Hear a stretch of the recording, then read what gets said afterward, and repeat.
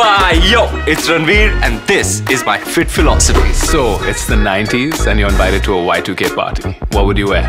Oh god, I love this. I love these jeans, my god. Okay, I think we have it. Bam! It's just instantly, it just hits me and I know it. This one it is. Ah, what do you think? I like it, it's pretty irreverent. You can't miss this though. Check it out. Uh, you're kind of known for some androgynous looks. Can you pair a look with a skirt? Not a lot of it is by design. There's all this public discourse that follows, which I don't mind. Uh, but honestly, I'm not thinking about it so much. You know, I'm just like wearing whatever the hell I want. Nice jacket. All right, we found a potential candidate here that I'm quite happy with and excited to try on. Made in India, it says. That makes me very happy. Let's check it out. I'm too sexy for my skirt. Too sexy for my skirt. So sexy it hurts. I feel so dainty.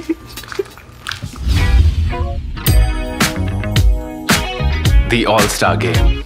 Tell us about that experience. At the All Star Game, wow, man, that was an unforgettable experience. It was 2016. I happened to be in Toronto and I was like, man, I would love to go for the All Star Game.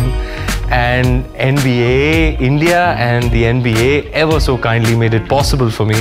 Um, I was given courtside seats. You know, it's really one thing to watch basketball on television it's another thing altogether to sit courtside and watch uh, the game.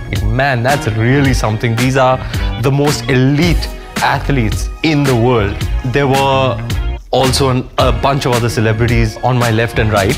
There was Ne-Yo, and I met Ludacris, one of my favorite rappers. Get back, get back, you don't know me like that. So I'm sitting there, and guess who walks in? MJ his Airness himself walks into the arena and the entire vibe, the entire energy of the space changes. Everybody got was just going crazy seeing him. My hand was out like this. And while he was going, he shook my hand. Michael Jordan just shook my hand. So I had a huge fanboy moment. Possibly my most memorable, most unexpected and insane, just insane moment. But yeah, that All-Star game was just unforgettable. And what would you wear to the next one? So I didn't get the memo. What I didn't know back in 2016 was how all-star fashion is such a big thing. It's such a thing. And I did not know that. But uh, not this time. This time I'm definitely gonna do something much more exciting. Let's see. We have a live one. Ladies and gentlemen, we have a winner. And now, tell us what you're doing with the NBA. I am the NBA brand ambassador for India. I'm very happy, very proud, honored, and really, really excited.